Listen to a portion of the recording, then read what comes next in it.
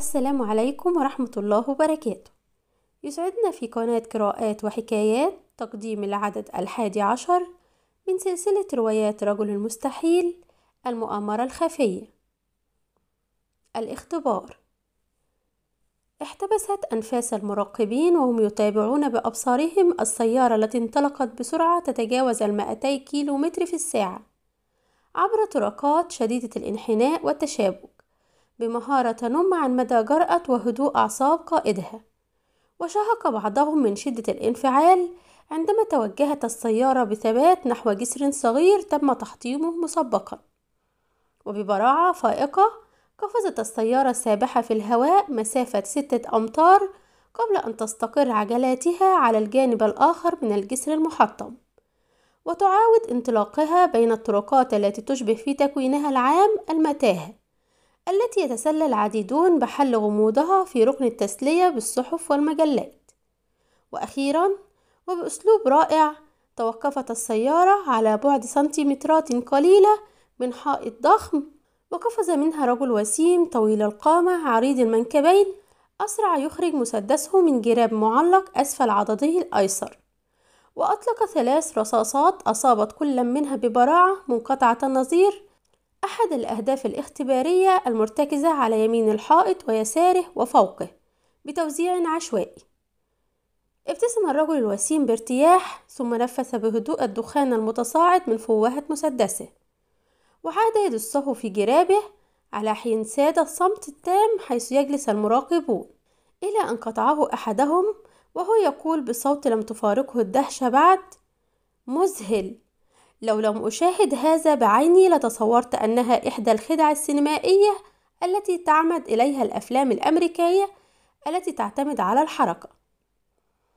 ابتسم مدير المخابرات الحربية المصرية عند سماع هذه العبارة وقال وهو يتطلع بإعجاب إلى الرجل الوسيم الذي أخذ يتقدم بهدوء نحوهم وقد علت شفتيه ابتسامة هادئة.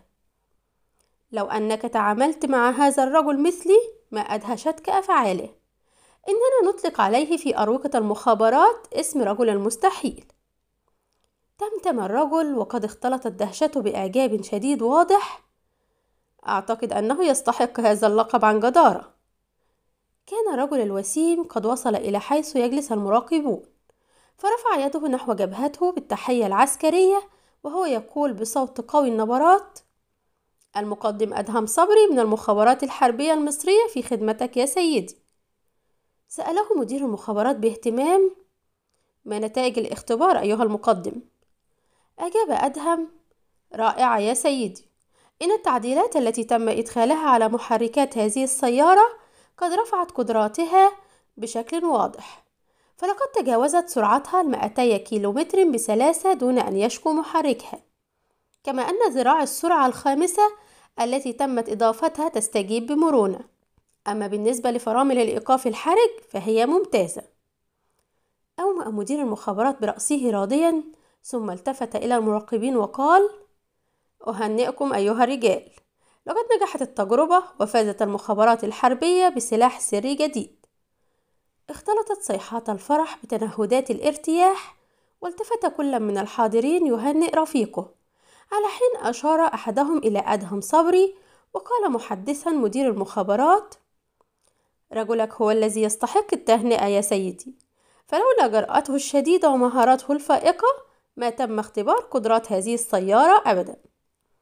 ابتسم مدير المخابرات وربط على كتف أدهم وهو يقول لهذا وقع اختياري عليه بالذات. ثم التفت إلى أدهم وقال بجدية اعتاد التحدث بها عندما يتعلق الأمر بإحدى المهام المعقدة والآن أيها المقدم سنعود إلى مكتبي وأرجو أن تكون مستعدا للسفر. فهناك مهمة تنتظرك واحدة من تلك المهام التي ندخرها خصيصا لرجل المستحيل. المؤامرة المجهولة. جلس أدهم على المقعد المواجه لمكتب مدير المخابرات الذي مد إليه يده بصورة فوتوغرافية ملونة وهو يقول هل تعرف شيئا عن صاحب هذه الصورة أيها المقدم؟ ألقى المقدم أدهم نظرة فاحصة على الوجه النحيل ذي الجبهة العريضة والشعر القصير والمنظار الطبي الضخم الذي يبتلع نصف الوجه تقريبا ثم ناول الصورة لرئيسه وهو يقول إنني أعرفه جيدا بالطبع يا سيدي فهو يدعى أيمن الصياد أشهر صحفي في جميع الصحف العربية وأكثرهم إصرارا وعنادا وإخلاصا أيضا وجميع من يعرفونه يعلمون جيدا أنه عاشق للصحافة. بل إنه مستعد للتضحية بحياته عن طيب خاطر في مقابل كشف أي انحراف يسيء للدولة. مط مدير المخابرات شفتيه وقال يبدو أن هذا ما حدث بالفعل أيها المقدم. نظر أدهم إلى رئيسه بتساؤل فتابع قائلا منذ عشرة أيام تقريبا سافر أيمن الصياد إلى المكسيك لتغطية حادث تفجير أصاب سيارة الملحق الصحفي لسفارتنا هناك. لسبب غامض ولقد عاونته السلطات المكسيكية مشكورة في أداء مهمته الصحفية وذلك على أكمل وجه. ولكنه لم يتوصل إلى ما يشبع فضوله الصحفي على ما يبدو إذ أنه قد حاول أن يقوم بعمل بعض التحريات الخاصة حول الحادث. برغم معارضة السلطات المكسيكية خشية تعرض حياته للخطر. ومنذ سبعة أيام غادر أيمن الصياد فجأة مدينة مكسيكو العاصمة إلى مدينة فيراكروس. ومن هناك أرسل إلى جريدته برقية لا أجد ما أصفها به سوى أنها خطيرة للغاية. أعقب مدير المخابرات عبارته بأن ناول أدهم صورة من البرقية التي أرسلها أيمن الصياد. تناولها أدهم وأخذ يقرأ فيها ما يلي. توصلت إلى معلومات غاية في الخطورة. أعتقد أنني بصدد كشف مؤامرة رهيبة تهدد أمن مصر الحربي. أحتاج إلى اعتماد مفتوح ستكون خبطة الموسم. قطب أدهم حاجبيه عندما انتهى من قراءة البرقية وقال بهدوء وهو يعيدها إلى رئيسه ومتى بالضبط اختفى السيد أيمن الصياد؟ حدق مدير المخابرات في وجه أدهم بدهشة ثانية واحدة ثم ابتسم وقال أتمتلك القدرة على قراءة الأفكار أم أنه استنتاج بديهي؟ هز أدهم كتفيه وقال بل استنتاج بديهي بالطبع يا سيدي فما دام الأمر قد جذب انتباه المخابرات الحربية المصرية فهناك ما يؤيد هذه البرقية بالتأكيد وافتراض صحة ما ورد في البرقية يؤدي بالطبع إلى إجراء وقائي لابد أن يتخذه أصحاب المؤامرة المجهولة وهذا الإجراء سيتمثل بالطبع في التخلص من الشخص الذي التقط طرف الخيط الذي يقود إلى كشف المؤامرة ولهذا لابد أن يختفي السيد أيمن الصياد بصورة غامضة. أهمأ مدير المخابرات برأسه موافقا وقال هذا صحيح أيها المقدم. لقد كانت هذه البرقية آخر أثر واضح لأيمن الصياد. اختفى بعدها تماما دون أن يسدد أجر الفندق الذي أقام به ودون أن يأخذ حتى حقائبه. ولم تعثر له السلطات المكسيكية على أدنى أثر حتى هذه اللحظة. ارتسمت ابتسامة على شفتي أدهم وهو يقول إذا فالمطلوب مني هو البحث عن شخص لا يعلم أحد في العالم أين هو. لأتوصل عن طريقه إلى كشف مؤامرة رهيبة مجهولة للجميع. تهدد الأمن الحربي لمصر. يا لها من مهمة.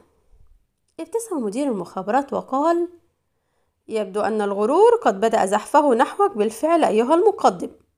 صحيح أنك أبرع رجال إدارتنا ولكنك لست الوحيد الذي يعمل هنا وعليك أن تتذكر ذلك دائما. ثم توقف لحظة عن الكلام قبل أن يتابع قائلا لقد قام رجال مكتبنا في مكسيكو بعمل التحريات اللازمة. وتوصلوا إلى أن أيمن الصياد قد أرسل هذه البرقية من مكتب صغير في فيراكروس. ثم غادر المكان وتوجه إلى مستشفى طبي شهير في الشارع رقم 17 ولقد تعرفه حارس المبنى ولكن أحدا غيره لم يتعرف صورة أيمن الصياد.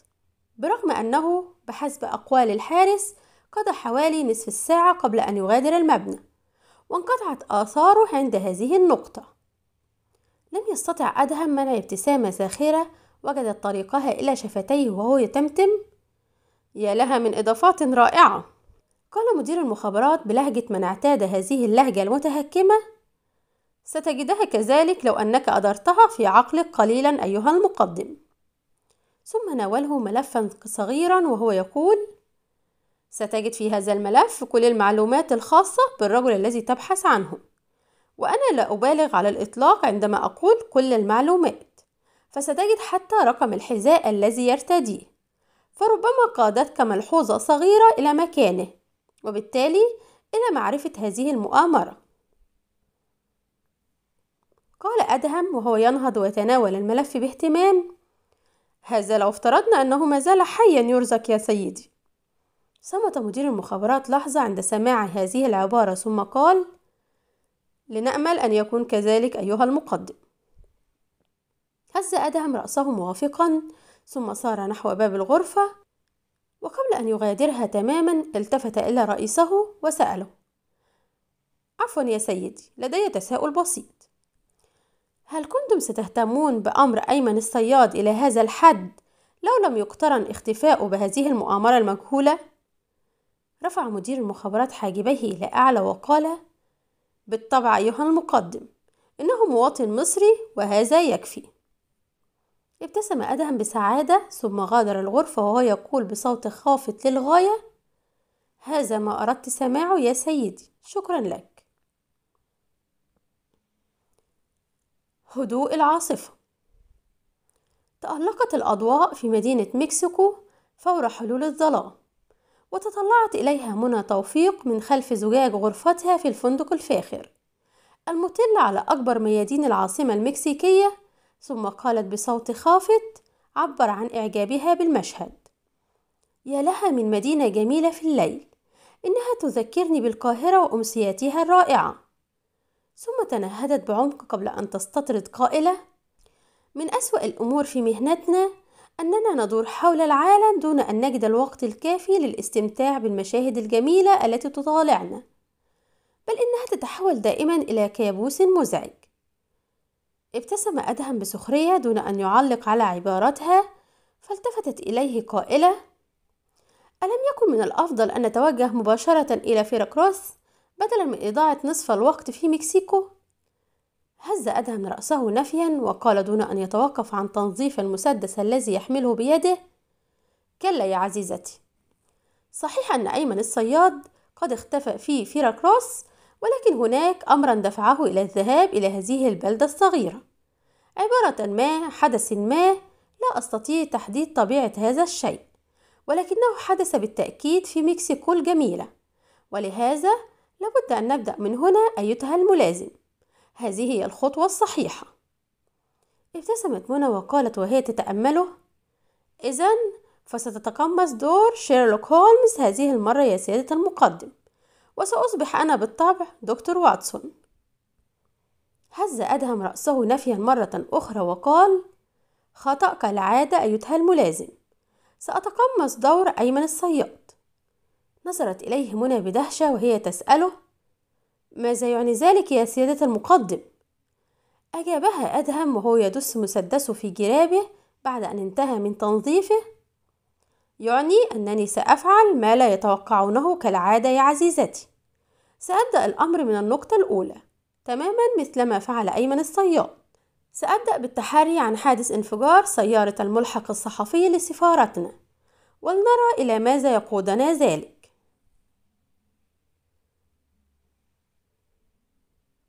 تأمل حارس السفارة البطاقة التي قدمها له أدهم ثم رفع سماعة الهاتف المعلق بجواره وقال بأسلوب رسمي أمامي سيد يدعى أدهم صبري يقول إنه مرتبط بموعد مع السيد السفير وبصحبته فتاة سوداء الشعر تدعى منى توفيق هل أسمح بدخولهما يا سيدي؟ وكان من الواضح أن إجابة سؤاله كانت بالموافقة استمتم بعبارة رسمية ووضع السماعة وهو يشير إلى الداخل قائلا بلهجة مهذبة. تفضلا على الرحب والسعة. سيادة السفير في انتظاركما. توجه أدهم بخطوات ثابتة نحو مبنى السفارة المصرية وتبعته منى بخطوات أقرب إلى العدو. ولدهشتها استقبلهما السفير بنفسه وشد على يد أدهم بحرارة وهو يقول بابتسامة متسعة يا لها من مفاجأة سارة يا عزيزي أدهم يا لها من سنوات طويلة لم نلتقي خلالها. إن ذاكرتي ترفض أن تسعفني بعددها.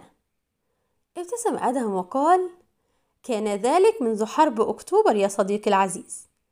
أومأ السفير برأسه موافقا وقال وهو يربط على كتف أدهم بود نعم نعم هذا صحيح. لقد زرعت بجرأتك المذهلة الرعب في قلوب الأعداء. في تلك الأيام. لقد كنت أعظم رجال القوات الخاصة حين ذاك.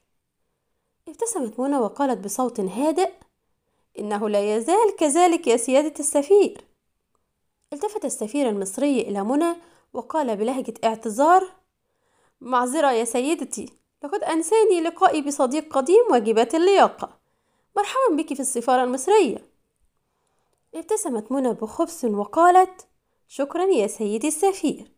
ولكن اللقب الصحيح هو آنسة. ارتفع حاجب السفير بدهشة مفتعلة وهو يقول آه عفوا يا آنستي لقد أخطأت مرة أخرى. لقد ظننتك زوجة هذا المقاتل العنيد. ألستما في أجازة؟ ضحك أدهم ضحكة قصيرة وقال لا يا سيادة السفير لسنا كذلك.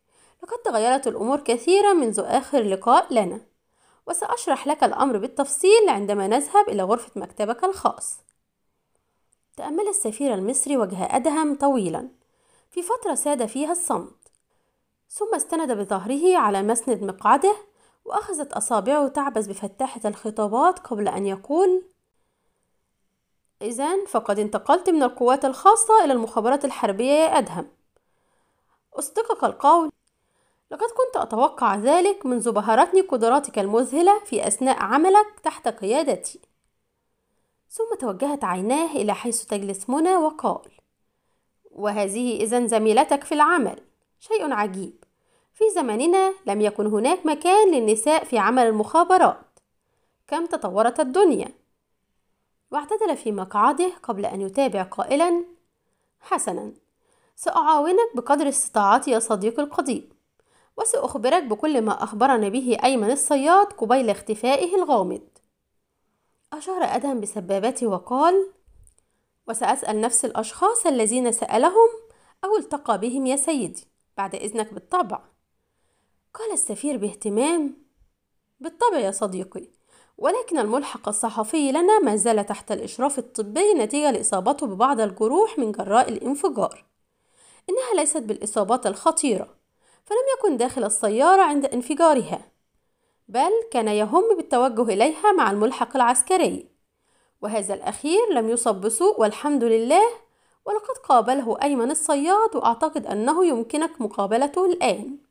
وأعقب قوله بأن ضغط زر الدكتافون الموجود بجوار مكتبه وطلب من الملحق العسكري للسفارة أن يوافيه في غرفة مكتبه. والتفت إلى أدهم قائلا ستشعر بالإعجاب تجاه ملحقنا العسكري. إنه رجل ممتاز وهو مرشح أيضا للانضمام إلى المخابرات الحربية المصرية. وما هي إلا لحظات حتى دق باب الغرفة فطلب السفير من الطارق أن يدخل. وبهدوء فتح الباب ودخل من خلاله رجل في حوالي الأربعين من عمره برغم شعره الأشيب تماما وشاربه الضخم فوق شفتيه وما أن اجتاز الملحق العسكري باب الغرفة حتى اتسعت عيناه دهشة بشكل مفاجئ وتراجع إلى الخلف بخطوة حادة وكأنما وقع بصره على شبح مفزع ثم استعاد هدوئه بسرعة أثارت الدهشة فسأله السفير بقلق ماذا حدث؟ ما معنى هذا الانفعال العجيب؟ ابتسم الملحق العسكري وقال معذرة يا سيدي السفير لقد كان عقلي مشغولا بأمر معقد حتى لقد فاجأني وجود بعض الغرباء في مكتبك في مثل هذا الوقت من المساء. قال أدهم وهو يتفرس في وجه الملحق العسكري باهتمام انفعال غريب خاصة عندما يصدر من رجل عسكري. ابتسم الملحق العسكري وقال العمل في السفارات كاد ينسينا القواعد العسكرية أيها السيد. هل لي أن أتشرف بمعرفتكما؟ قال السفير وهو يشير إلى أدهم وزميلته السيد أدهم صبري وهو صديق قديم لي وزميلته الآنسة منى توفيق. ثم أشار إلى الملحق العسكري وقال ملحقنا العسكري العقيد فريد حسني. أسرع أدهم يقول يسعدني لقاؤك يا سيادة العقيد. أنا صحفي بجريدة مصرية وكنت أود التحدث إليك بشأن حادث انفجار سيارة الملحق الصحفي. حدق السفير في وجه أدهم بدهشة عندما سمعه يدعي أنه صحفي. وكذلك فعلت منى. ولكن السفير عاد فهز كتفيه وكأنما الأمر لا يعنيه واسترخى في مقعده يتابع الحوار بين أدهم والعقيد فريد الذي قال بخبث لقد سبق أن تحدثت عن هذا الموضوع مع زميل لك يا سيد أدهم. ابتسم أدهم بخبث مماثل وقال لعله من جريدة منافسة يا سيدي وأنا أحب أن أستمع إلى التفاصيل منك شخصيا.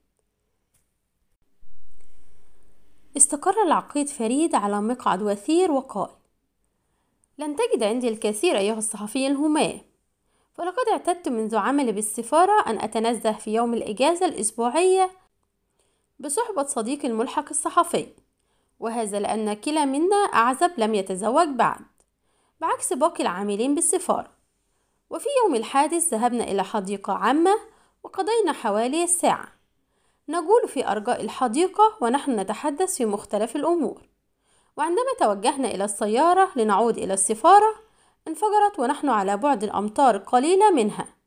فأصيب الملحق الصحفي ببعض الإصابات الخفيفة على حين نجوت أنا بفضل الله.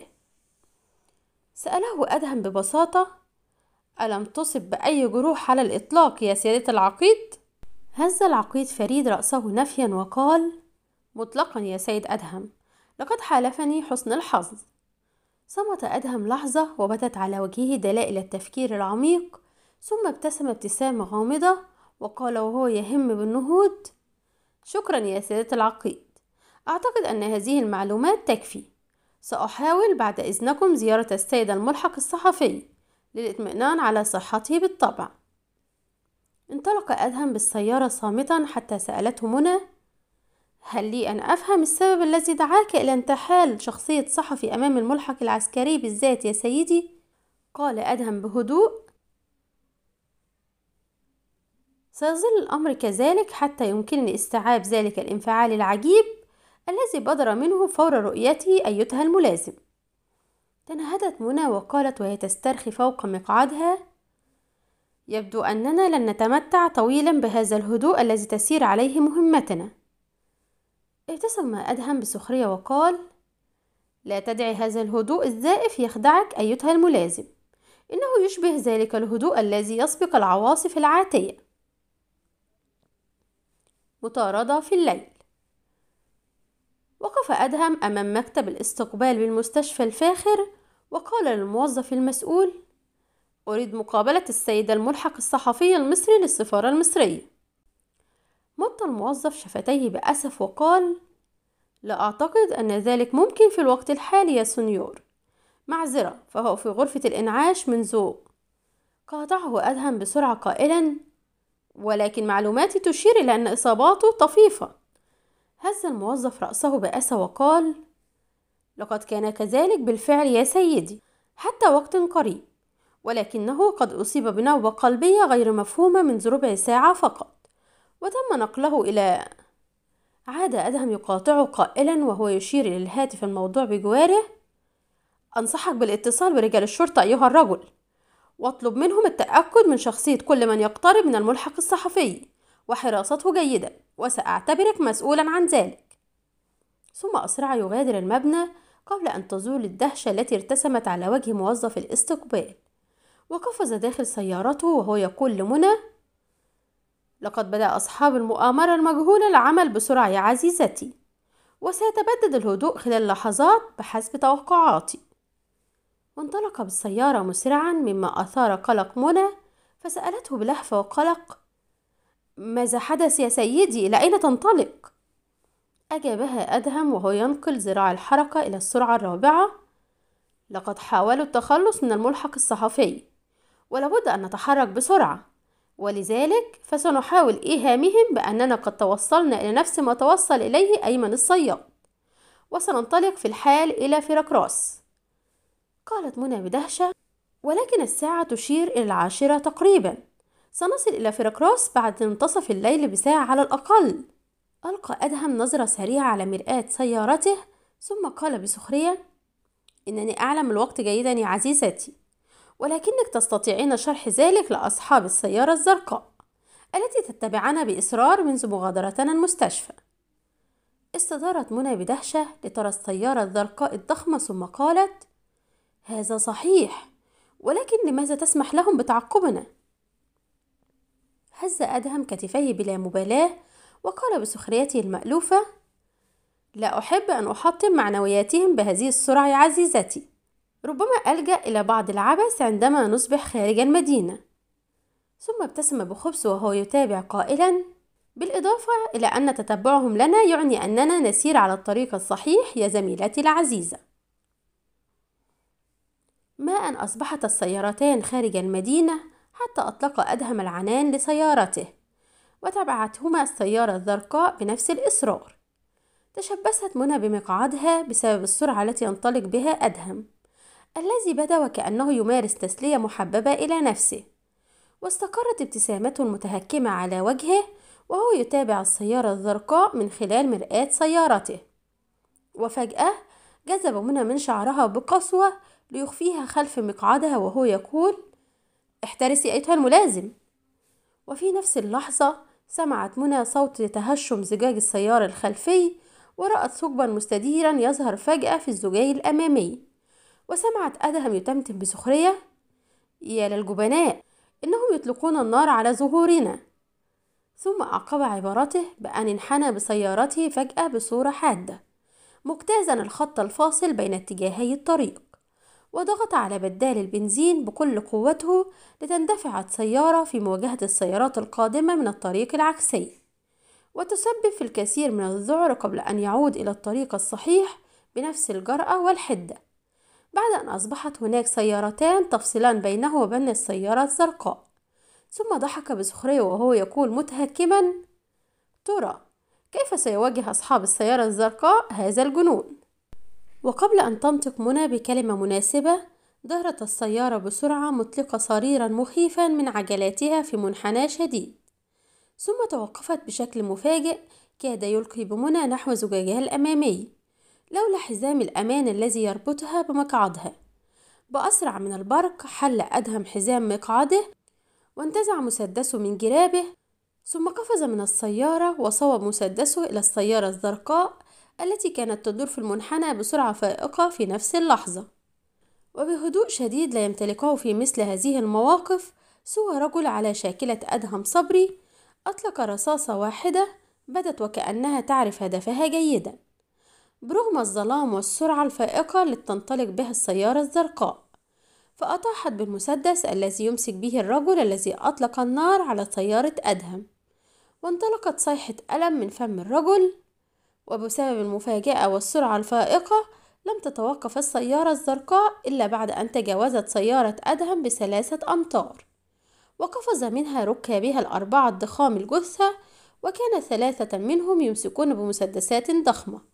وقد استعدوا لإطلاقها نحو أدهم ووجوههم تغلي بالغضب والغيظ. لو أن صحفيا ذكيا أراد أن يحصل على تحقيق صحفي حول ما دار في تلك اللحظة لعجز العمالقة الأربعة عن مده بكلمة واحدة تصف ما حدث بصورة واضحة. فقد قفز أدهم فوق مقدمة سيارته ثم سبح جسده في الهواء كالصاروخ قبل أن تركل قدماه مسدسين وتطيح بهما بعيدا. واستند بقبضتيه على ظهر السيارة الزرقاء وتخطاها بقفزة واحدة مذهلة هابطا بجسده كله على الرجل الثالث الممسك بالمسدس. وقبل أن تستوعب عقول العمالقة الأربعة تلك الصورة المذهلة التي سجلتها عيونهم كانت قبضة أدهم الحديدية تهشم فك أولهم ثم تستقر قبضته الأخرى في معدة الثاني. ملحقا إياها بلكمة كالقنبلة في أنفه. فارتطم بالسيارة محدثا صوتا يشبه ذلك الذي يحدثه برميل فارغ. وبخطوات رشيقة سريعة مدهشة دار أدهم حول السيارة. ثم ارتفعت ساقه اليسرى لترك قدمه جانب وجه الرجل الثالث وينحني جسده بسرعة متفاديا قبضة الرجل الرابع. ثم ينتصب جسده لتطيح قبضته اليمنى بالرجل الرابع. في أقل من نصف ثانية حدقت منى في الرجال الأربعة الذين فقدوا الوعي بجوار سيارتهم الزرقاء ثم رفعت بصرها نحو أدهم الذي ابتسم بسخريته المألوفة وأخذ يعدل من هندام بهدوء فسألته بدهشة. ولكن لماذا؟ لقد كنت تمسك بمسدسك وكنت قادرا على الإطاحة بمسدساتهم ببساطة. رفع أدهم كتفيه وقال ببساطة لابد من بعض النشاط والحركة يا عزيزتي كلما حانت الفرصة وإلا فقدت لياقتي. أشارت منى إلى الرجال الأربعة الفاقدي الوعي وقالت دون أن تفارقها الدهشة ولكنك كنت تقامر بحياتك. التقط أدهم مسدسه وهو يقول بخبث هكذا؟ كيف لم ألاحظ ذلك؟ ثم تابع وهو يستقر بهدوء خلف عجلة قيادة سيارته قائلا هيا يا عزيزتي لا ينبغي أن نضيع الوقت في مناقشة كهذه. فها قد انتهت المطاردة وسنواصل طريقنا إلى فيراكروس بهدوء. اللقاء القاتل. وقف رجل عجوز نحيل طويل القامة له أنف أجدع ورأس أصلع يحك سوالفه التي امتلأت شيبا. وقد ازدادت عيناه ضيقا وهو يستمع إلى أحد رجاله ثم قال بصوت بدا للوهلة الأولى هادئا إذا فقد وصل صديقنا أدهم صبري إلى فيراكروس برغم محاولاتكم القضاء عليه هذا طريف. ومن الذي أصدر الأمر بمطاردته والقضاء عليه يا جوزيف؟ انتفخت أوداج جوزيف وقال بلهجة متفاخرة أنا يا مستر حييم لم أشأ إيقاظك عندما وصلتني المكالمة التليفونية من مكسيكو وقررت أن أتكفل بالأمر كله. فأمرت رجالنا في مكسيكو بأن قاطعه حييم بصوت غاضب غباي خيل لجوزيف أنه لم يستمع إلى الكلمة بصورة صحيحة فسأله بقلق ماذا تقول يا مستر حييم؟ ضرب حييم سطحا من ضد المجاورة بغضب وهو يصيح بحنق أقول إنك أغبى رجل تعاملت معه بل جميعكم أغبياء لقد أفقدتمونا عنصر المفاجأة. بهت جوزيف وعجز عن النطق على حين استطرد حييم بغضب شديد. لقد خدعكم هذا الشيطان المصري كالعادة. بأساليبه الملتوية. لقد سرتم على النهج الذي وضعه هو. سقطتم في الفخ كالبلهاء. إنه يحاول إيهامكم بأنه قد توصل إلى شيء ما. ولذلك فقد انطلق بسيارته نحو فيراكروس وكل ما يمتلكه هو مجرد الشك وبغباء منقطع النظير أكدتم له هذا الشك وهجمتموه بشكل سخيف يشبه أعمال العصابات القديمة ولا يمت بصلة مطلقا إلى أعمال المخابرات. ثم جذب شعر سالفيه بغضب وهو يقول كيف بحق الشيطان؟ كيف يتم انتقاؤكم للعمل في مخابراتنا؟ إنكم لا تصلحون إلا لحماية رجل ثري وغبي. وغير معرض للخطر مطلقا. وأشار إلى جوزيف وأصابعه ترتعد من الغيظ وصح بصوت هادر اغرب عن وجهي أيها الغبي. دعوني وحدي حتى أستطيع التفكير بعيدا عن غبائكم الذي يثير أعصابي. أسرع جوزيف يغادر الغرفة بخطوات مرتبكة دون أن يجرؤ على مناقشة حييم الذي أخذ يلهث من شدة الغضب والانفعال. وما هي إلا لحظات حتى استعاد هدوئه وجلس على مقعد ضخم وأخذ يعبث في سالفه بأصابعه وهو يقول لنفسه لا فائدة لقد أشعل هؤلاء الأغبياء نيران الحرب العلنية ولن يتراجع هذا الشيطان المصري أبدا إنه أكثر عنادا من النمور ولا بد أن ندرس الأمر جيدا. فقدوم الشيطان إلى فيراكروس يؤكد أنه لم يتوصل إلى حقيقة خطتنا بالتأكيد وإنما يتظاهر بذلك. ثم مال على مقعده وارتسمت ابتسامة شيطانية على شفتيه وهو يقول بصوت خافت ما دام هذا الشيطان المصري يحب فيراكروس فسنعمل على أن نجعلها مثواه الأخير. توقفت سيارة أدهم صبري أمام مبنى ضخم يخص المستشفى الجراحي لفيراكروس وقالت منى بحنق وهي تهبط منها لست أفهم ما يحدث هذه المرة يا سيدة المقدم. لقد كنت مصرا على الوصول إلى فيراكروس في الواحدة صباحا ثم أجد أننا قد قضينا الليل في فندق المدينة وها نحن أولاء نتوجه إلى المستشفى في الصباح. فيما إذن كان تعجلك للوصول إلى هنا. قال أدهم ببساطة وهو يتوجه إلى باب المبنى مجرد اختبار لمدى سرعة اتصالاتهم واتخاذهم للقرارات أيتها الملازم وتأكدي أن التحركات السريعة تصيب الخصم دائما بالارتباك. زوت منى ما بين حاجبيها وقالت وهي تتبعه كما أنها قد تؤدي إلى خطوات خاطئة من المهاجم أيضا يا سيدي. ابتسم أدهم بسخرية دون أن يعلق على عبارات منى ثم توجه مباشرة إلى حارس المبنى ووضع صورة أيمن الصياد أمام عينيه وهو يقول هل لك أن تخبرني متى رأيت صاحب هذه الصورة يا صاح؟ تأمل حارس المبنى صورة أيمن الصياد ببساطة ثم اعتدل وقال بهدوء لم تقع عليه عيني مطلقا يا سنيور ابتسم أدهم بخبث وقال وهو يلوح بورقة مالية كبيرة أمام الحارس ربما تساعدك هذه على التذكر يا رجل ابتسم حارس المبنى بهدوء وهو يهز رأسه نفيا ثم قال إن ذاكرتي عنيدة جدا يا سنيور ولن ينعشها حتى أضعاف هذا المبلغ ثم إنني لا أنسى الوجوه أبدا وأنا أكرر أنني لم أرى هذا الرجل مطلقا. أعاد أدهم الورقة المالية إلى محفظته وهو يقول بتخابث ولكنك أخبرت أحد زملائي الصحفيين أنك قد رأيت هذا الوجه سابقا. قال حارس المبنى دون أن تبدو على وجهه علامات الكذب.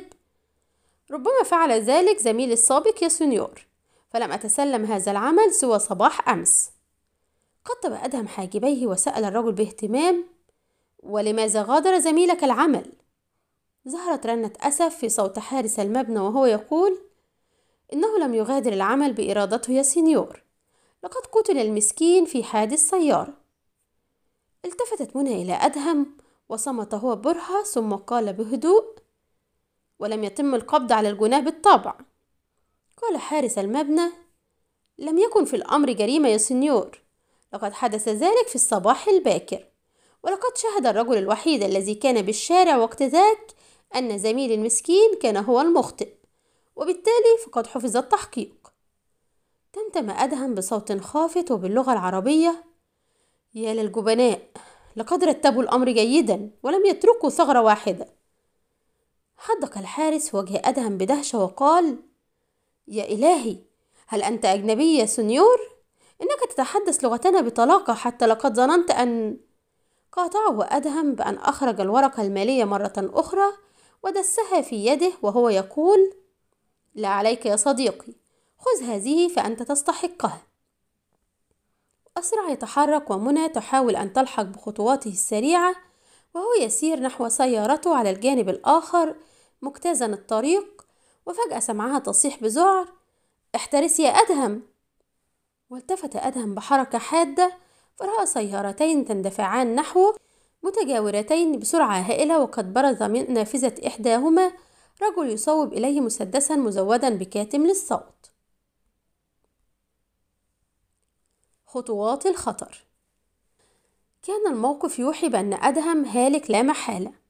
فلو أنه نجا من طلقات الرصاص المصوبة إلى صدره ما تمكن من الإفلات من السيارتين بسرعتهما الهائلة والمسافة القصيرة بينه وبينهما. ولكن لو أننا كنا هناك وشاهدنا ما حدث في العشر الثواني القادمة لعرفنا جيدا لماذا يطلقون على أدهم صبري في أروقة المخابرات الحربية لقب رجل المستحيل. فقد مال بجسده يسارا مضللا الرجل الذي يطلق النار ثم اندفع نحو السيارتين بشكل أذهل قائديهما حتى أن أحدهما صاح بذعر ماذا يفعل هذا المجنون؟ وعندما أصبحت المسافة بينه وبين مقدمتيهما لا تزيد عن السنتيمترات العشر قفز ببراعة وجرأة فوق مقدمة إحداهما. وما أن لمست قدماه سطحها حتى قفز مرة أخرى دائرا حول جسده. الذي تكور بشكل مرن دورة كاملة ثم هبط خلف السيارتين مستقرا على قدميه في نفس اللحظة التي أطلقت فيها منى النار على الرجل الذي يمسك بالمسدس. فهشمت رصاصتها يده واختلطت صيحته المتألمة بصرير عجلات السيارتين.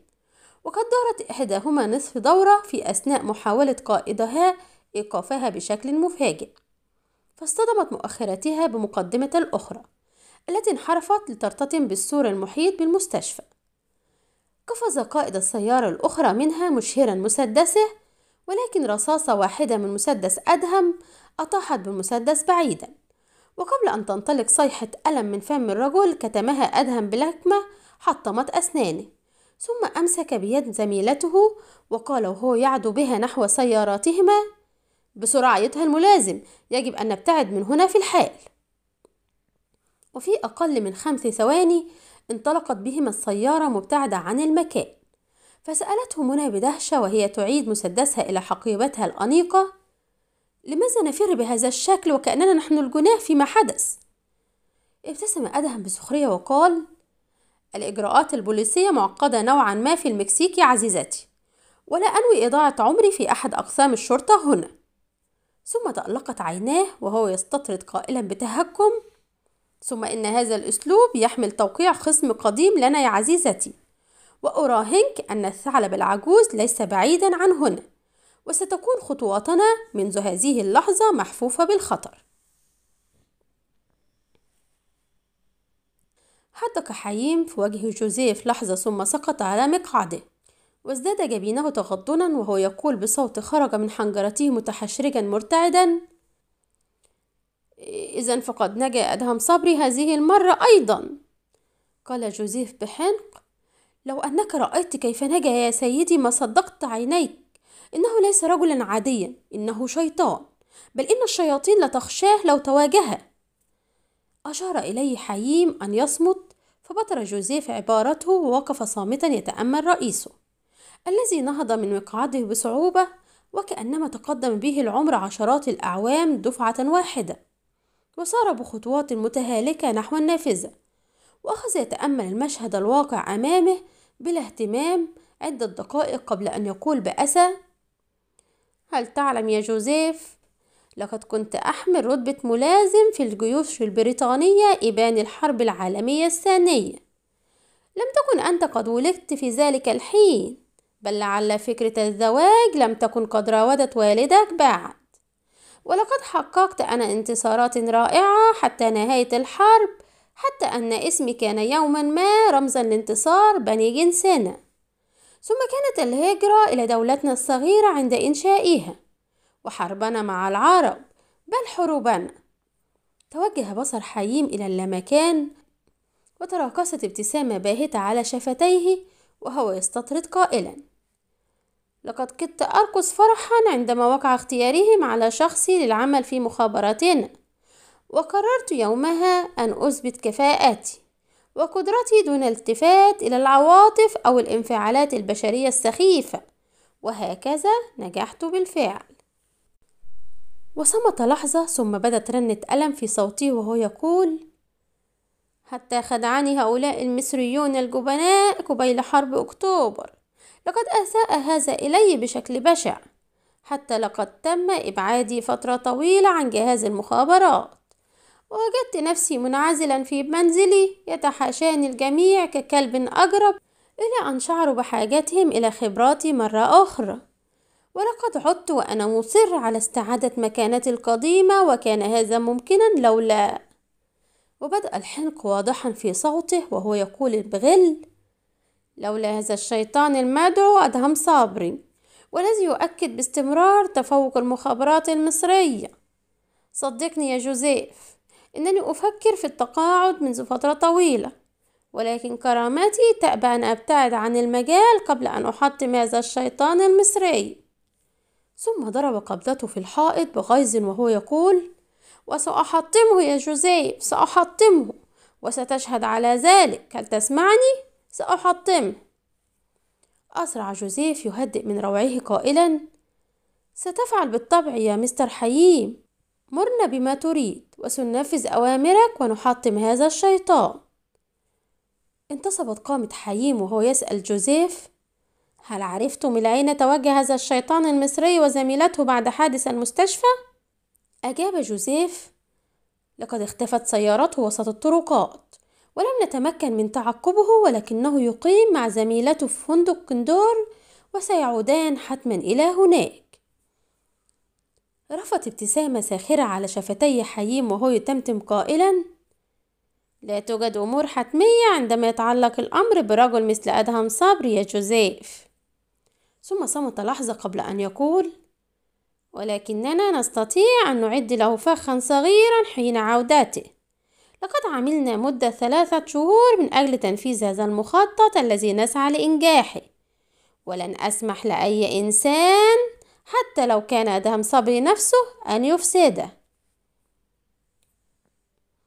قالت منى لأدهم وهما يصعدان إلى حيث غرفتيهما ينتابني شعور كأنني مقدمة على الانتحار كلما اقتربت من غرفتي. ابتسم أدهم بتهكم وقال ينبغي أن نمنحهم فرصة الكشف عن أنيابهم يا عزيزتي. عسى أن يقودنا ذلك إلى أيمن الصياد أو ما تبقى منه.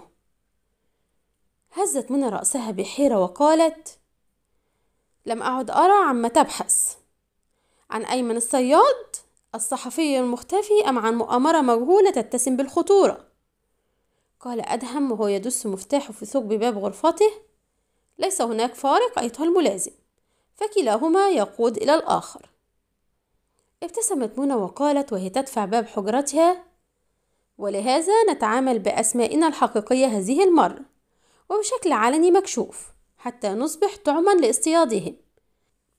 ترى متى سيحدث الاصطدام التالي؟ وفجأة اندفع أدهم نحوها بشكل أدهشها وقبل أن تتسع عيناها من إثر ذلك قفز بجسده ليدفعها بعيدا. في نفس اللحظة التي دوى فيها انفجار قوي قذف بشظاياه عبر باب غرفتها فصاحت بذعر يا إلهي لقد حاول التخلص مني أنا هذه المرة ولكن لماذا؟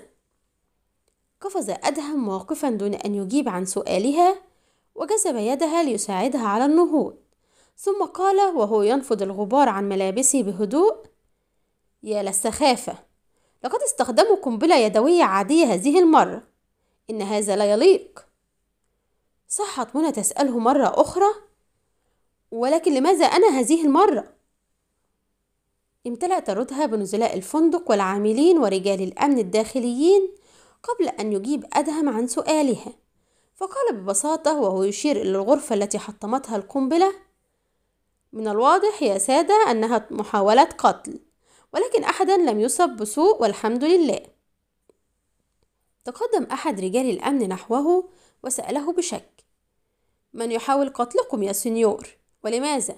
هل لي في جوازي سفركما؟ أجابه أدهم باسما بهدوء. إنني أؤمن بالتخصص أيها الشرطي. وإجابة السؤالين الأول والثاني هما من اختصاصك. أو من اختصاص زملائك. أما عن السؤال الثالث فهو يحتاج إلى سبب منطقي. فنحن المجني عليهما ولسنا الجناة.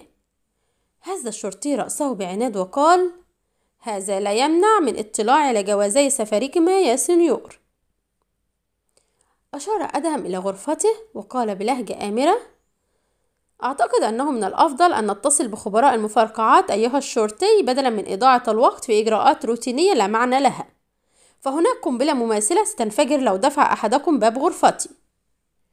نظرت منى إلى أدهم بدهشة وقالت إذا فقد لغموا الحجرتين. أجابها أدهم بهدوء نعم يا عزيزتي لقد حاولوا ألا يتركوا شيئا للمصادفة لولا أنهم استخدموا قنبلة يدوية عادية وعندما دفعت أنت باب غرفتك جذب خيط متين زناد القنبلة وكادت خطتهم تنجح. لولا أن نزع زناد القنبلة اليدوية يحدث صوتا خافتا لا يمكن أن تخطئه أذن رجل قوات خاصة سابق مثلي يا عزيزتي. عاد الشرطي الفندق يقول بإلحاح جوازي سفركما يا سنيور ويا سنيورة. قال أدهم ببرود وهو يمسك بذراع منى ويقودها نحو المصعد إذا لم تكن تنوي إلقاء القبض علينا أيها الشرطي فستجد كل بيانات جوازي سفرنا مدونة في دفتر استقبال الفندق. معذرة فالسنيوريتا تحتاج إلى الجلوس في مكان هادئ. بعد هذا الموقف المثير للأعصاب. وقبل أن ينطق أحدهم بكلمة دفع أدهم زميلته داخل المصعد ثم تبعها وضغط زر الهبوط إلى الطابق الأرضي فابتسمت منى وقالت بحياء أعتقد أنني مدينة لك بحياتي هذه المرة يا سيادة المقدم. ابتسم أدهم متهكما وقال دون أن يلتفت إليها في مهمتنا هذه لا يدين أحدنا للآخر بشيء أيتها الملازم مدام الأمر يتعلق بالعمل. ابتلعت منى عبارته الساخرة بصعوبة وازداد تخضب وجهها وهي تسأله هل لي أن أعلم لماذا غادرنا الفندق بهذه السرعة وقد عدنا إليه لتونا؟ أجابها أدهم بهدوء لأن خروجنا أحياء بهذه السرعة سيدفع أحدهم لتعقب خطواتنا وأنا أحاول فعل المستحيل من أجل التقاط طرف الخيط الذي سيقودنا إلى ما نبحث عنه أيتها الملازم كان المصعد قد وصل إلى الطابق الأرضي وما أن انفرج بابه حتى فوجئ أدهم وزميلته بأنهما واقفان في مواجهة حييم الذي كان يقف في انتظار المصعد والذي تراجع بحدة عندما وقع بصره عليهما فابتسم أدهم بسخرية وقال وهو يغادر المصعد ويتجه نحوه بهدوء يا للمصادفة السعيدة هل كنت تزمع الصعود لتمتع عينيك برؤية أشلائنا المتناثرة يا مستر حييم؟ يؤسفني أننا خيبنا رجائك. خيط من نار شحب وجه حييم وتراجع بذعر ناسيا أنه بصحبة الثلاثة من أعتى رجاله. وحاول جاهدا أن يرسم ابتسامة على شفتيه وهو يقول بصوت مرتعد أثار دهشة رجاله. مرحبا يا مستر صبري. أي انفجار تتحدث عنه؟ إنني لا أعرف شيئا عن ذلك مطلقا. ضحك أدهم بسخرية وقال عجبا. إنني لم أذكر كلمة الانفجار هذه أبدا يا مستر حيي. من أين أتيت بها؟ زوى حييم ما بين حاجبيه وقال اسمع يا مستر صبري دعنا نتحدث بصراحة. أشار أدهم إلى منى التي ظلت صامتة وقال متهكما كنت أحب أن أذكر لك رأيي فيك وفي مخابراتك بصراحة يا مستر حي ولكنني أخشى أن أتفوه بذلك أمام آنسة مهذبة كزميلاتي. ازدرد حييم ريقه بصعوبة وقال دعنا من الآراء الشخصية يا مستر صابري ولنتحدث في العمل. عقد أدهم ساعديه أمام صدره وقال حسنا يا مستر حي إننا على أرض مكسيكية محايدة وهذا يجعل الأمر سهلا لكلينا. تنهد حييم بارتياح وقال أنت إنسان عاقل يا مستر صبري. والآن قاطعه أدهم قائلا بصرامة. والآن ستخبرني بصراحة أيها العجوز أين الصحفي أيمن الصياد؟ حدق حييم في وجهه بدهشة وقال هل هذا كل ما تبحث عنه يا مستر صبري؟ حقيقة؟ ثم ضاقت حدقته وقال بخبث ترى هل تنوي العودة إلى وطنك فور عثورك عليه؟ قال أدهم بجدية نعم يا مستر حييم وأعدك بذلك ضحك حييم بسخرية وقال يا لك من ذكي يا مستر صابري هل تعلم أن هؤلاء الرجال الثلاثة الذين يقفون خلفي قادرون على تمزيقك إربا في أقل من لمح البصر؟ هز أدهم كتفيه بلا مبالاة وقال إن هؤلاء البهلونات الذين تحيط بهم نفسك لا يثيرون في نفسي أكثر من مجرد الرغبة في الضحك أيها المخرف العجوز. فهم ينفقون الكثير من الوقت لنفخ عضلاتهم ولكنهم لا يجدون استخدامها. ابتسم حيين بشراسة وقال أنت مخطئ أيها الشيطان المصري. فهؤلاء الثلاثة محترفون وهم أقوى رجالنا على الإطلاق. هل تود مواجهتهم؟ أزح أدهم منى بهدوء وقال بسخرية لاذعة كم يسعدني تحطيم أفيالك الثلاثة أيها الرعديد. وبإشارة واحدة من يد حييم قفز العمالقة الثلاثة نحو أدهم وهم يزمجرون بشراسة. صرخ الرواد في بهو الفندق بذعر عندما بدأ القتال العجيب على مرأى من الجميع ولم يكن القتال في حد ذاته هو الذي بهرهم. بل هذا الرجل الوسيم الرشيق الذي تحرك بسرعة ومهارة كإعصار مدمر. لا يبكي ولا يذر وسط عمالقة ثلاثة يفوقه أقلهم حجما وقوة. أما بالنسبة للعمالقة الثلاثة فقد هزتهم المفاجأة من أعماقهم. عندما قفزوا نحو أدهم إذ شعر أولهم بقنبلة تنفجر في فكه وتهشم أسنانه. وشعر الثاني بالظلام يحيط به عندما اختلطت عظام أنفه بلحم وجهه الممزق. أما الثالث فقد راودته رغبة شديدة في القيء مع كل ذلك الألم الذي أصاب معدته وشعر الأول بنفس شعور القيء بعد لحظة واحدة. أما الثاني فقد أراح نفسه وفقد الوعي. وظن الثالث أن ملامح وجهه قد تبدلت وتحولت إلى قطعة من العجين عليها أثر قبضة أدهم الفولاذية. أصاب الذهول حييم وحاول أن يفر بعيدا ولكنه شعر بمسدس صغير يندس في جنبه وسمع صوت منى هادئا وهي تقول مبتسمة مهلا يا مستر حييم أعتقد أن أدهم يود التحدث إليك قليلا عندما ينتهي من فري رجالك المحترفين كما تزعم. أرخى حييم ذراعيه باستسلام وقال بأسى إنهم كذلك بالفعل يا مس منى إنهم كذلك. قادته منى بهدوء إلى حيث تقف سيارة أدهم الذي لحق بها سريعا وهو يقول بسخرية أحسنت أيتها الملازم إنك تتصرفين بشكل أفضل هذه المرة. ثم أسرع يندس أمام عجلة القيادة بعد أن تأكد من جلوسهما في المقعد الخلفي وانطلق بالسيارة مبتعدا عن الفندق قبل أن يباشر رجال الشرطة التحقيق فيما حدث. أوقف أدهم سيارته في منطقة نائية واستدار ليلصق فوهة مسدسه بجبين حييم وهو يقول بصوت جمد الدماء في عروق هذا الأخير ترى هل تجد هذه المنطقة مناسبة لمصرعك يا مستر حييم؟ إنك لن تقتل رجلا أعزل يا مستر صبري هذا ليس من شيماتك ثم إن هذا التهديد بالقتل لن يخيف محاربا سابقا مثلي ابتسم أدهم بسخرية وقال إنني على استعداد لقتل رجل مريض أيها العجوز لو أن في ذلك مصلحة مصر. قطب حييم حاجبيه وقال وأنا على استعداد على الموت من أجل قاطعه أدهم قائلا وقد لا أقتلك يا مستر حي. ما رأيك لو أطلقت النار على ركبتيك مثلا؟ قالت منى بهدوء وهي تستند إلى المقعد الخلفي للسيارة. بل اطلق النار على رأسه مباشرة يا سيادة المقدم. لقد سبب لنا هذا العجوز المخرف الكثير من المتاعب منذ قابلناه لأول مرة. بدأ الذعر يزحف إلى قلب حييم فقال بتوسل مستر صبري يمكننا أن نتفق بلا شك كل شيء قابل للتفاوض. ضحك أدهم بسخرية وقال وماذا تريد أن تمنحني مقابل حياتك يا مستر حييم؟ وسام؟ ظهر التردد واضحا على وجه حييم كان من الواضح أنه يحاول حسم أمر ما في ذهنه.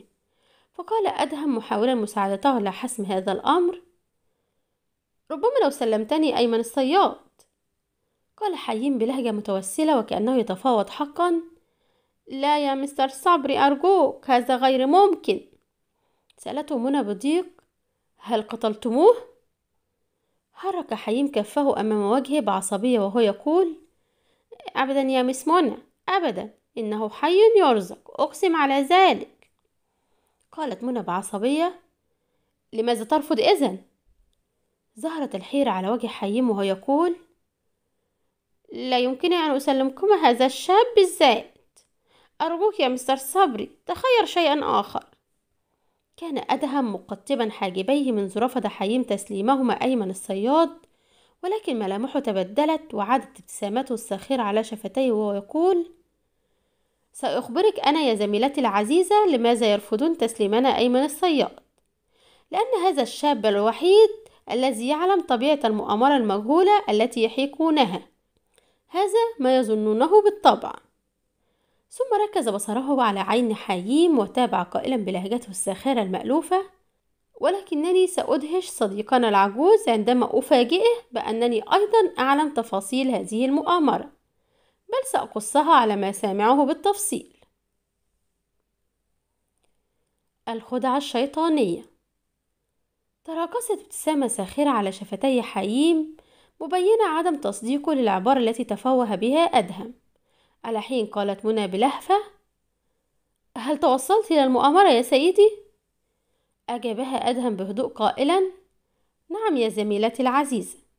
وستتلاشى هذه الابتسامة الساخرة من على وجه صديقنا حييم عندما أخبره بما أعلم ثم عاد يركز بصره على عين حييم وهو يقول هل تعلمين السبب الحقيقي الذي يمنع هذا العجوز من تسليمنا أيمن الصياد يا منى؟ إنه لا يستطيع ذلك وإلا كشف لنا أيمن أن الرجل الذي يحتل منصب الملحق العسكري في سفارة مصر بالمكسيك ليس هو العقيد فريد حسني الحقيقي. لما فك حييم الذي استدل بدهشة وبلاهة عن صحة الاستنتاج الذي أدلى به أدهم. فابتسم هذا الأخير بسخرية وتابع قائلا وأن الرجل الذي هناك حاليا ليس سوى واحد من رجال المخابرات التي يتبع لها صديقنا حي وقد أجريت له جراحة تجميل بارعة في مستشفى فيراكروس على الأرجح. بعد أن تم انتقاؤه بدقة بالغة من بين المهاجرين الذين غادروا مصر بعد حرب عام 1967 بحيث يتفق قوامه وصوته مع العقيد فريد حسني. حاول حييم أن يبتسم بصعوبة وهو يقول خيال طريف يا مستر صبري وكيف أمكننا إجراء هذا التبديل ما دام الملحق العسكري لا يغادر السفارة مطلقا إلا بصحبة صمت حييم فجأة وقد تبين أن عبارته قد تقود أدهم إلى معلومة جديدة. ولكن أدهم ضحك ساخرا وقال لقد أجبت عن هذا السؤال بنفسك يا مستر حي. نعم. لم يكن الملحق العسكري يغادر السفارة سوى بصحبة الملحق الصحفي. ولهذا كان لابد من إحداث هذا الانفجار الزائف لإبعاد الملحق الصحفي حتى يتم التبديل. ولقد أصيب الملحق العسكري أيضا. ولكن بديلكم الزائف لم يكن مصابا بأي جروح على الإطلاق. وهذا ما أثار ريبتي. صمت أدهم لحظة تأمل خلالها وجه حييم الذي اكتسى بالغيظ ثم تابع قائلا إنها خطة ذكية يا مستر حييم. ولم أكن لأكشفها لولا انفعال عجيب انتاب هذا البديل. أثار الشك في نفسي ودفعني للتفكير في معناه. رفع حييم رأسه ينظر إلى أدهم بتساؤل وقد ضاقت حدقتاه حتى كادتا تختفيان خلف جفنيه المنتفختين. فقال أدهم لقد تراجع بحدة وبدأ على وجهه الذعر عندما وقع بصره على وجهي ولم يكن التعليل الذي برر به ذلك مقنعا. هل تعلم لماذا فعل ذلك يا مستر حييم؟ لأن كل واحد من رجالكم يحمل في جيبه صورة لي. لقد صنعتم مني غولا يخشاه رجالكم إلى درجة الإصابة بالفزع فور رؤيته أيها العجوز الأحمق. تمتم حييم بغيظ هذا الغبي الأرعن. كهكه أدهم ضاحكا بسخرية ثم قال سأعد هذه العبارة الغاضبة اعترافا آخر أيها الثعلب العجوز. سألته منى باهتمام ولكن لماذا فعلوا كل ذلك يا سيدي؟ ابتسم أدهم وقال هل نسيت أن العقيد فريد حسني مرشح للعمل في المخابرات الحربية المصرية أيتها الملازم؟ لقد أخبرنا سيادة السفير بذلك في مجمل حديثه وهذه فرصة ذهبية لهؤلاء الأوغاد ليزرعوا أحد رجالهم وسط مخابرتنا امتقع وجه حييم بغيظ على حين نظرت منى إلى أدهم بإعجاب وقالت ها هي ذي عبقرية جديدة تضاف إلى مهاراتك يا سيادة المقدم لقد تفوقت هذه المرة على شيرلوك هولمز كما توقعت أنا. كيف توصلت لكل ذلك؟ ابتسم أدهم وقال متهكما لقد كان شيرلوك هولمز يعيش حياة هادئة يا عزيزتي وأنني لا أحسده عليها. ثم صمت لحظة وعاد يقول لقد توصلت إلى كل ذلك بسبب تأكيد صديقنا حييم لكون أيمن الصياد حيا حتى الآن وهذا شيء عجيب بالنسبة لهؤلاء الأوغاد إلا إذا كانوا يحاولون التوصل إلى كل ما يعرفه أو أنه يعلم من الأشياء ما يمكن أن يفيدهم. وفجأة وعند هذه النقطة اتضحت الأمور كلها في ذهني ولكنني لم أكن متأكدا بالضبط. فقررت الإيقاع بهذا الوغد العجوز بالتظاهر بأنني واثق من كل كلمة أنطق بها. حدق حييم في وجهه بحنق وتمتم قائلا يا للشيطان! ضحك أدهم بصوت عالي ثم قال وأعتقد يا عزيزتي أن أيمن الصياد يعرف الكثير عن العقيد فريد حسني ولهذا فقد كشف حقيقة هذا البديل المزيف ولهذا أيضا يحتفظ به هؤلاء الأوغاد حيا حتى يمكنهم استخلاص ما يفيد رجلهم في إتقان دوره ثم التفت إلى حييم وقال ساخرا أليس كذلك أيها الوغد العجوز؟ ولدهشة منى ابتسم حييم ابتسامة مطمئنة وهو يقول بلى أيها الشيطان المصري كل ما تفوهت به صحيح مئة بالمئة زوى أدهم ما بين حاجبيه واستدار لينظر عبر زجاج السيارة الأمامي إلى أربع سيارات تقترب من سيارته بهدوء ثم قال بسخرية وهو يدير محرك سيارته هل تسير دائما بصحبة جهازك اللاسلكي الصغير أيها العجوز؟ أجابه حيين بهدوء وكأنما صديقان يتناجيان. دائما يا مستر صابري ولقد اعتاد رجالي على تتبع إشاراته إذا ما عجزوا عن العثور علي لسبب أو لآخر وسوف يحيطون بك بعد قليل. حرك أدهم ذراع السرعة وضغط على بدال البنزين والكابح وهو يقول متهكما من الممتع أن هذه المنطقة خالية تماما من سوانا. وسيفيدني هذا في إعطاء رجالك بعض الدروس الخاصة بقيادة السيارات. وعقب هذا القول بأن رفع قدمه عن الكابح فانطلقت السيارة لتبدأ أشرس مطاردة مباشرة في حياة رجال المخابرات. انتزاع النصر. انطلقت السيارات الأربع تطارد سيارة أدهم بإصرار على حين بدأ هو استعراض مهارته وبراعته المذهلة في السيطرة على السيارة. التي كانت تستجيب لقائدها وكأنها تخشى أن تعصي أوامر رجل المستحيل وحاول قائد السيارات المطاردة للالتفاف حوله ولكنه انحرف بشكل مفاجئ وتوجه بسرعته المذهلة نحو ممر جبلي ضيق. معدل الدراجات فصاحت منى بالذعر احترس يا سيدي لن يسع هذا الممر سيارتين. ابتسم أدهم بثقة وقال بلهجته المتهكمة ولكنه يسع سيارة واحدة يا صغيرتي وخاصة إذا كنت أنا قائدها. واندفع داخل الممر بسيارته ببراعة منقطعة النظير. كان الأمر يحتاج إلى قبضات فولاذية باردة كالثلج وإلا فإن أي انحراف ولو لسنتيمتر واحد كافي لارتطام السيارة بجدران الممر.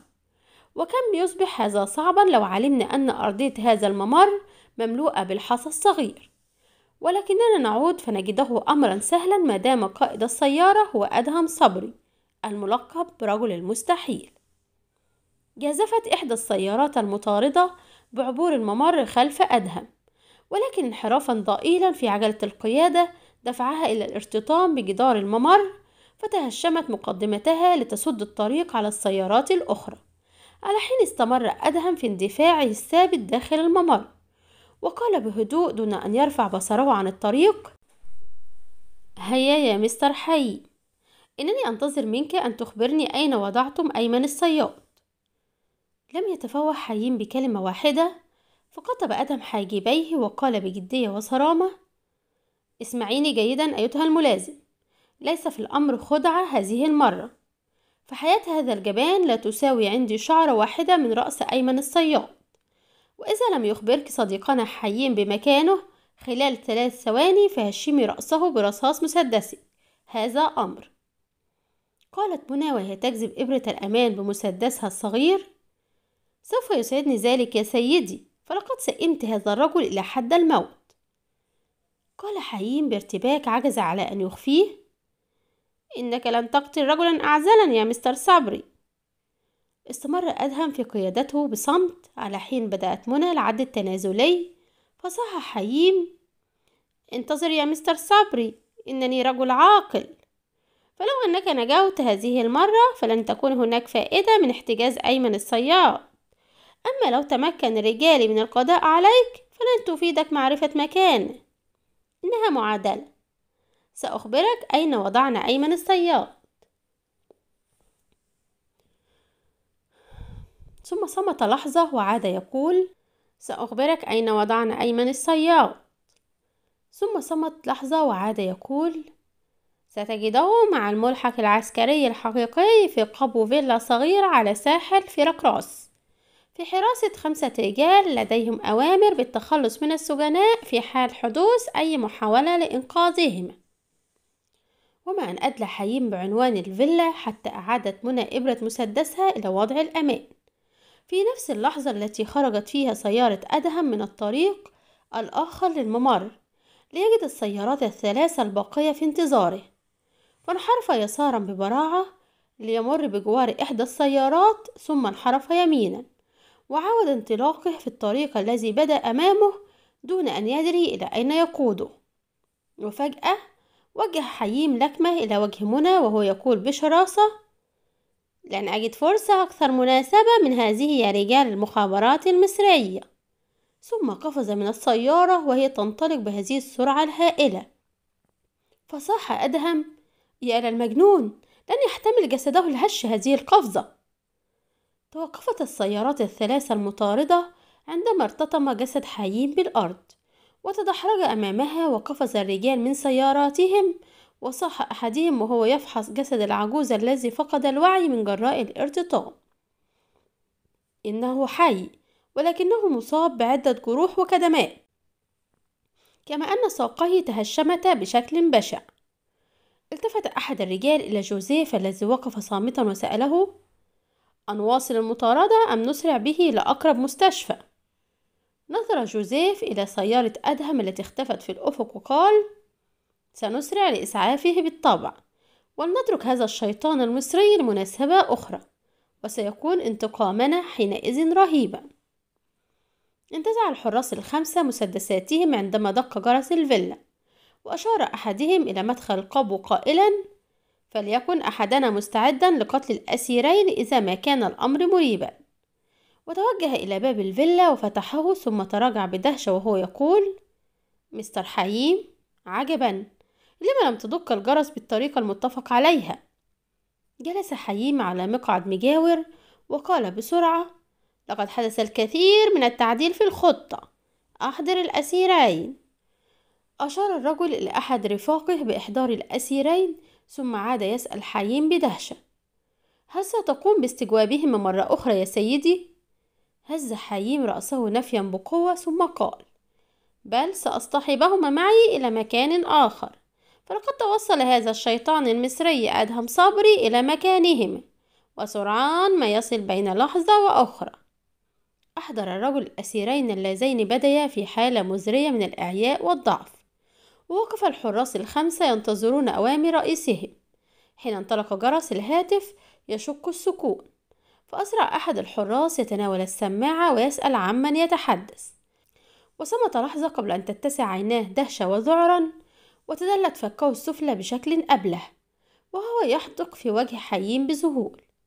وفجأة وبدون سابق إنذار دب النشاط والحيوية في جسد حييم العجوز فقفز من مقعده برشاقة مذهلة وانطلقت قبضته تحطم فك أقرب الحراس إليه ثم دار على أطراف أصابع قدمه اليسرى لتركل اليمنى وجه الحارس الثاني. وتستقر على الأرض لترتفع اليسرى بدورها مطيحة بالحارس الثالث الذي تهاوى إلى الأرض فاقد الوعي وانسنى جسد أدهم غائصا لأسفل ثم تمدد كقطعة من المطاط المرن وقفز في الهواء ليهبط بقدميه في صدر الحارس الرابع وتنثني ذراعه اليسرى لتغوص مرفقاه في معدة الحارس الخامس. ثم تنهي قبضته اليمنى الصراع عندما تنطلق كالقنبلة لتنفجر في وجهه. أخذ الحراس الثلاثة الباقين في حالة الوعي يتألمون. على حين تفجرت الدهشة على وجه أيمن الصياد والعقيد فريد حسني. وأسرع أدهم المتنكر في هيئة حييم يحل وثاقيهما وهو يقول بهدوء وبساطة حمدا لله على سلامتكما يا سيد أيمن وسيادة العقيد فريد. أرجو ألا تلتفت إلى ذلك الوجه الذي أحمله والذي ترك في نفسيكما أثرا سيئا من قبل. فما هو إلا وجه تنكري. أما أنا فأدعى أدهم صبري ولقد أتيت لإنقاذكما مع تحيات وتمنيات المخابرات المصرية نظر أيمن والعقيد فريد كل منهما إلى الآخر غير مصدق. ثم هتف أيمن الصياد بقلق. لست أدري كيف نشكرك يا سيد أدهم ولكن عليك أن تسرع. فلقد علمنا أن البديل المزيف الذي يحتل منصب الملحق العسكري في السفارة المصرية لديه أوامر مشددة بنسف السفارة بأكملها في حال كشف أمره زوى أدهم ما بين حاجبيه وقال يا للأوغاد ثم توجه إلى أحد الرجال الثلاثة وجذبه من شعره ثم ألصق فوهة مسدسه بجبهته وسأله بصوت قوي مخيف هل هذا صحيح أيها الرجل؟ تكلم وإلا حطمت رأسك. قال الرجل بصوت مرتعد متألم نعم نعم هذا صحيح ولكن هذا لن يتم إلا عندما يتلقى عميلنا كلمة شفرية خاصة لا يعلمها سوى مستر حيي وهو الآن فاقد الوعي في مستشفى فيرا كروس. لقد أخبروني بذلك الآن تليفونيا. ترك أدهم الرجل وقال إذا فلدينا فرصة مناسبة حتى يستعيد مستر حييم وعيه. يمكننا الاتصال بالسفارة وتحذيرهم ولكنني أخشى أن يلتقط ذلك العميل المكالمة. ثم صمت لحظة وقد زوى ما بين عينيه مفكرا ثم عاد يقول سننطلق الآن إلى السفارة المصرية في مكسيكو وهناك يمكننا الوصول إلى ما نريد. وأشار إلى باب الفيلا قائلا أسرع يا سيد أيمن وأنت يا سيادة العقيد فريد ستجدان سيارة حمراء تقودها زميلتي منى. انتظراني حتى أنتهي من إحكام قيد هؤلاء الرجال. ثم ننطلق جميعا إلى مكسيكو وليكن الله سبحانه وتعالى في عوننا. من أجل مصر. كان أدهم ينطلق بسيارته بسرعة مذهلة محاولا الوصول إلى مكسيكو في أقرب وقت ممكن. عندما سأل أيمن الصياد كيف أمكنك كشف هذه المؤامرة الخفية يا سيد أيمن؟ أجابه أيمن الصياد لقد ساعدني حسن الحظ أو سوء حظهم يا سيد أدهم.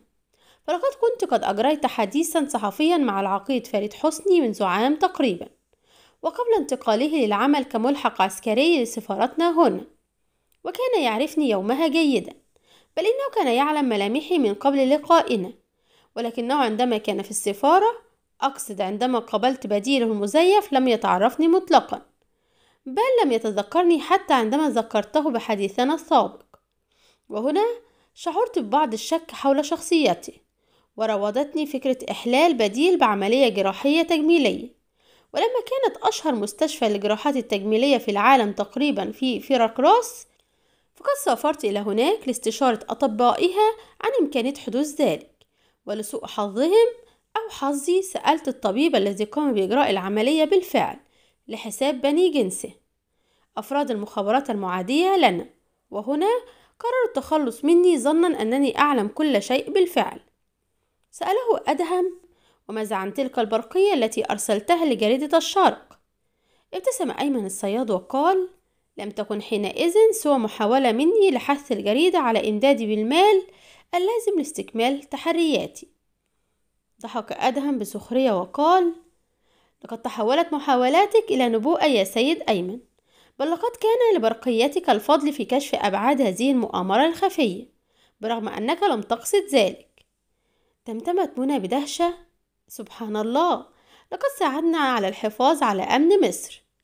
فقال أدهم بجدية إن الله سبحانه وتعالى يعاون الذين يسعون من أجل قضية عادلة يا عزيزتي والذين يحاولون الحفاظ على الأرواح لا هؤلاء الذين يسعون لإزهاقها سألته منى ولكن لماذا حاولوا التخلص من الملحق الصحفي في المستشفى؟ أجابها الملحق العسكري على سؤالها قائلا لأنه الوحيد الذي يعرفني جيدا بحكم تقاربنا الدائم أيتها الملازم وهو الوحيد القادر على كشف هذا البديل المزيف فور التقائهما. هزت منى رأسها وقالت ولكن كيف تم إبدالك بهذا المزيف يا سيدي؟ هز الملحق العسكري كتفيه وقال لست أدري بالضبط أيتها الملازم. لقد فقدت الوعي فور الانفجار وأفقت لأجد نفسي في هذا القبو العفن وما هي إلا أيام قليلة حتى لحق بي صديقنا الصحفي أيمن الصياد.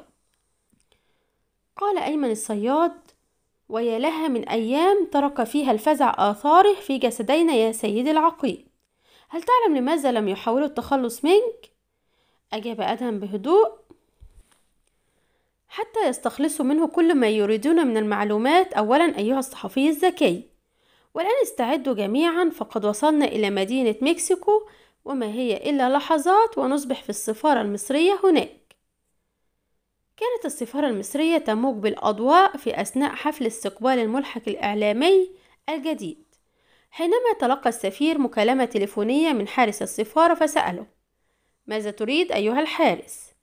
أجاب الحارس في أدب السيد أدهم صبري يطلب مقابلتك يا سيادة السفير. يقول إن الأمر عاجل ولا يحتمل التأجيل.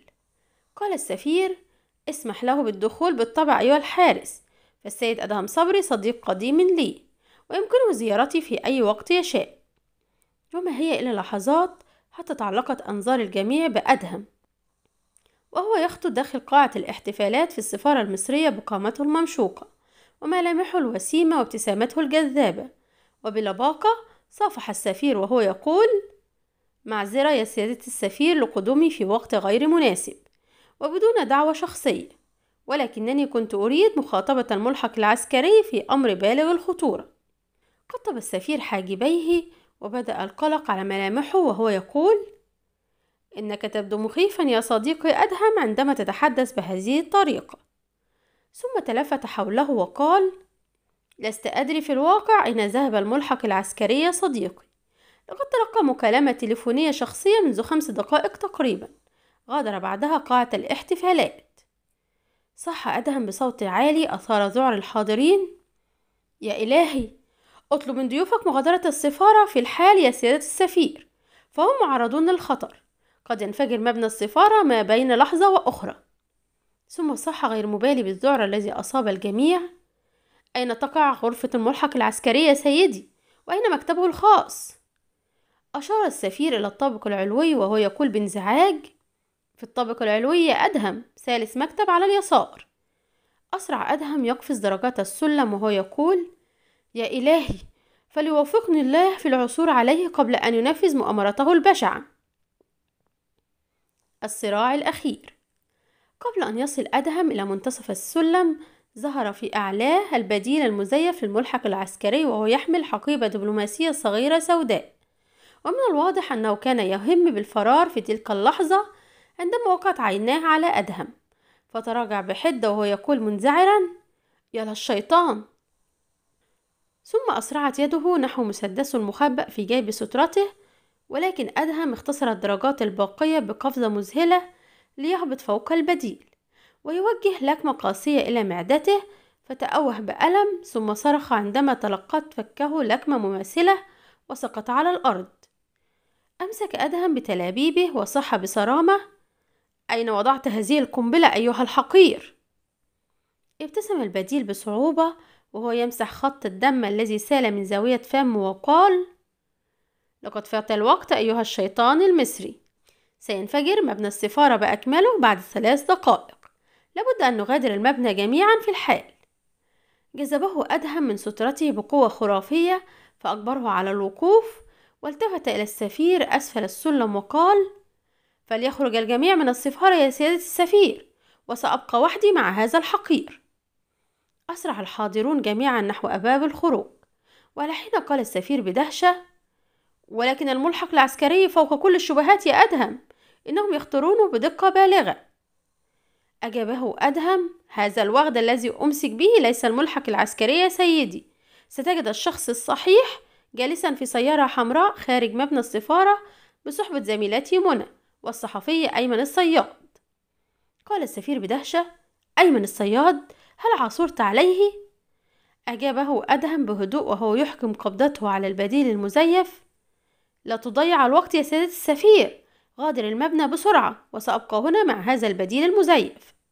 صح البديل بذعر أنت مجنون أيها الرجل. سينفجر المبنى بأكمله بعد دقيقتين ونصف. هز أدهم كتفيه بلا مبالاة وقال بهدوء فليحدث ما يحدث أيها الحقير. ولكن كلينا لن يغادر السفارة قبل أن تخبرني أين وضعت هذه القنبلة. وكيف يمكنني إبطال مفعولها؟ نظر البديل إلى ساعته بذعر وصاح أنت مجنون لابد أنك كذلك. ثم ابتسم بصعوبة وقال إنك تحاول خداعي وستفر في اللحظة الأخيرة أليس كذلك؟ قال أدهم بصرامة فلنرى ماذا سيحدث أيها الوغد ها هو ذا الوقت يمضي بسرعة. حاول البديل التملص برعب ولكن قبضة أدهم الحديدية الممسكة به منعته من ذلك فصاح. لقد بقيت أقل من دقيقتين أيها الشيطان. دعني ولنفر بروحينا بسرعة. قال أدهم بهدوء حسنا هذا قضاء الله. من المؤسف أنك ستكون آخر وجه أراه قبل موتي أيها الحقير. تصبب العرق غزيرا على وجه البديل وتعلقت عيناه بساعة يده ثم صاح باستسلام. اللعنة. بقيت دقيقة ونصف. أسرع أيها الشيطان إلى غرفة مكتب السفير في الطابق الثاني. وستجد هناك لوحة تمثل رئيس جمهوريتكم. إطار هذه اللوحة يحتوي على القنبلة والحل الوحيد لإبطال مفعولها هو انتزاع الضلع السفلي من الإطار فهو الذي يحتوي على المفجر الموقوت.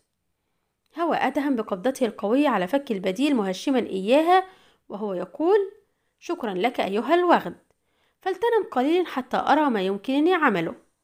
ثم أسرع يعدو نحو غرفة مكتب السفير وقد أشارت ساعته لأنه لم يبقى سوى دقيقة واحدة وتنفجر القنبلة.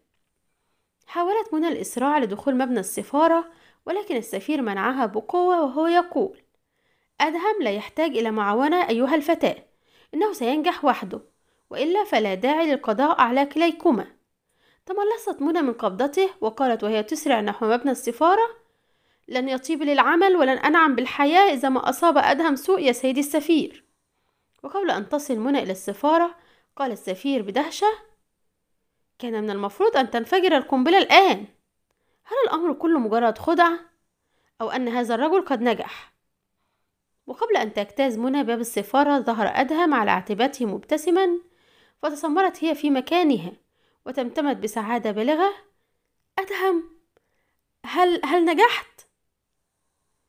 ارتج الشارع الذي تقع فيه السفارة المصرية بهتاف الجميع عندما أومأ أدهم برأسه إيجابا وأسرع الجميع إليه بفرحة عارمة يهنئونه ويشكرونه ويصافحونه فابتسم هو بهدوء والتفت إلى السفير قائلا معذرة يا سيدي السفير لقد اضطررت لتحطيم باب غرفة مكتبك فقد كان هذا الوغد قد أوصده بالمفتاح. الختام. ارتسمت ابتسامة فخر وإعجاب على شفتي مدير المخابرات الحربية المصرية وهو يقرأ التقرير الذي قدمه إليه أدهم صبري. ثم نحاه جانبا ورفع رأسه إليه قائلا ممتاز أيها المقدم لقد أديت مهمة رائعة بحق هذه المرة. ابتسم أدهم بهدوء وقال لقد عاونتني زميلتي منى توفيق ببراعة هذه المرة يا سيدي.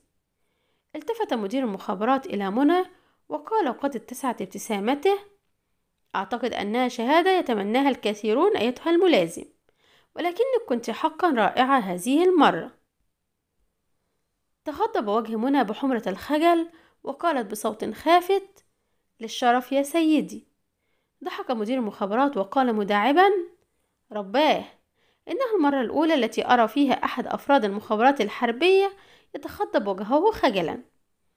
ازداد احمرار وجه منى فابتسم أدهم وقال هذا لا يمنع من أن الملازم منى قد قامت بعملها وتقوم به دائما بصورة مرضية يا سيدي. ثم التفت إليها وقال بابتسامة رقيقة إنها حقا فخر لبنات جنسها يا سيدي المدير قالت منى لأدهم وهما يغادران مبنى المخابرات ترى هل ما قلته في غرفة المدير يعبر عن رأيك الحقيقي يا سيدي؟ ابتسم أدهم وقال وهو يفتح باب سيارته نعم أيتها الملازم منى إنه يعبر عن رأيي تماما سألته هي تتخذ المقعد المجاور له في السيارة إذا لماذا تحدثني دائما بلهجة ساخرة في أثناء العمل؟ تظاهر أدهم بالدهشة وهو يقول بتخابث هل هذا صحيح؟ إنني لم ألحظ ذلك مطلقا ضحكت منى وقالت مديرة دفة الحديث حسنا دعنا من ذلك هل لي أنا أسألك إلى من أرسلت تلك الباقة من الزهور التي ابتعتها من مطار مكسيكو؟ ضحك أدهم ضحكة قصيرة ساخرة وقال إلى صديقنا حييم شيمون في قسم الكسور بمستشفى فيراكروس يا عزيزتي ابتسمت منى وقالت كم تميل إلى العبث في غير أوقات العمل يا أدهم وماذا كتبت له في البطاقة المرافقة؟ قال أدهم وهو يقود السيارة لقد تمنيت له الشفاء ووقعت البطاقة باسم المخابرات المصرية ضحكت منى وقالت لن يخدعه هذا التوقيع. وسيعرف في الحال أن مرسل هذه الباقة هو رجل المستحيل. تمت بحمد الله. شكرا أصدقائي على متابعة الحلقة للنهاية. وإن شاء الله تكون عجبتكم. ونلتقي مع حضراتكم في حلقات تانية إن شاء الله. ياريت لو ما كنتوش لسه اشتركتوا في القناة تشتركوا وتفعلوا زر الجرس ليصلكم كل جديد. والسلام عليكم ورحمة الله وبركاته.